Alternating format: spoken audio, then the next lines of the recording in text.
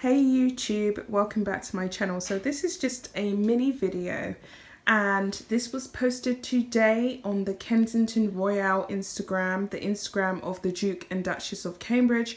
And I just wanted to say that Kate has certainly hit back at Meghan and Harry. She has slammed Meghan with elegance, grace and style. She's definitely shown her how it's done. Take a look. It is so wonderful to be back at the reopened Natural History Museum where we can all enjoy its treasures once again. I'm here because tomorrow night I'm announcing the 56th Wildlife Photographer of the Year. I've been lucky enough to have a quick preview and I can say it's truly spectacular.